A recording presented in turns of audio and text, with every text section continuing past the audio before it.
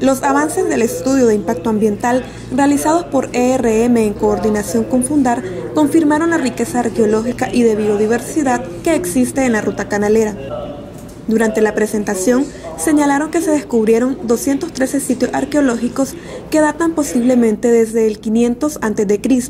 hasta 1519 después de Cristo, incluyendo 13.000 fragmentos de cerámica precolombina y 2.000 fragmentos de piedras líticas utilizadas como armas por indígenas.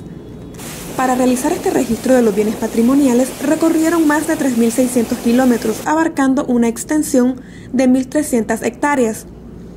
Parte del inventario en biodiversidad incluye 1.400 especies de flora en el Pacífico y Caribe Central, 330 especies de aves en el Caribe y 80 especies de aves migratorias en el Pacífico y Caribe Central.